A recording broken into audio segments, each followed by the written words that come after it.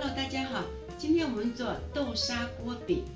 那豆沙锅饼哈，你只要掌握了两点，第一就是面糊那个水和面粉的比例，第二就是你摊饼的时候的火候。那这两点掌握了以后呢，这张豆沙锅饼你就可以顺顺当当的完成了。那今天我们做两张面饼，我们用半个 cup 的面粉，一个 cup 的水。半杯面粉要满一点，水要浅一点，然后一起放入，和均匀先。最后再打入一个蛋，搅均匀了，不过筛没有关系，但是你要保证它没有颗粒。然后我会用两个碗把它均匀的分开。这样等一会儿下锅的时候就不会手忙脚乱了，往锅里一倒就可以了。先开火，把锅烧烫，但是呢又不能很烫，因为你太烫的话呢，等一会儿面糊下锅的时候一下就接起来了，所以就转不开了。面粉一下倒入，然后即刻旋转，这个时候火不要太大，中小火就可以。然后移动你的钵，让它四周都受热，不要心急着去翻面，慢慢等它老结了以后，也就是说等它结实了，你再去动它。那翻面的时候啊，是用手最好用，最灵活，但是呢是有点烫。不过呢，这个烫的程度呢，我们还是能够承受的，好过你用筷子啊，用什么工具把它翻破了，我们还要反顾，那更累。等你看到这个边上都有点翘起来了，那我们就把它顺着这个边拉拉开，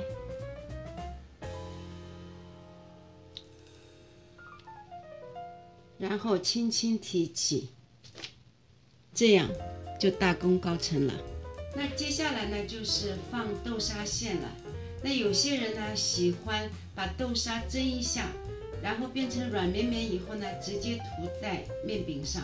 那也有些人呢是把它放在保鲜膜上，然后用擀面杖擀成一个长方形的，再把它移到面饼上。那我觉得呢，我这个方法是最简单的。豆沙哈，这个角这边剪一个口，然后挤出来，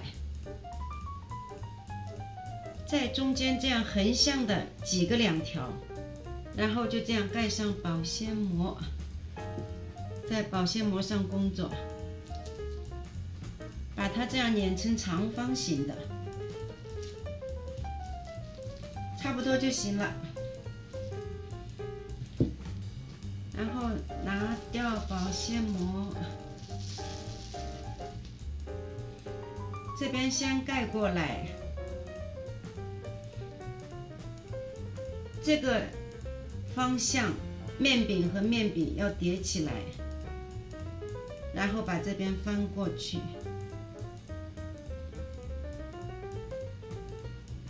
所有豆沙的地方都要盖住。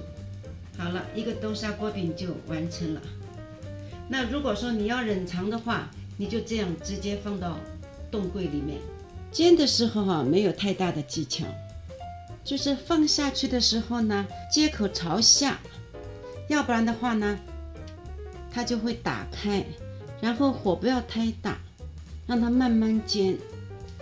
翻面的时候呢，一定要用铲子，用铲子这样深深的铲过去，然后翻面。待两面都这样金黄了，就可以起锅了。迫不及待的吃了一片，好吃，有小时候家乡的味道。好，今天我们这个视频就到这里，我们下次再见，拜拜。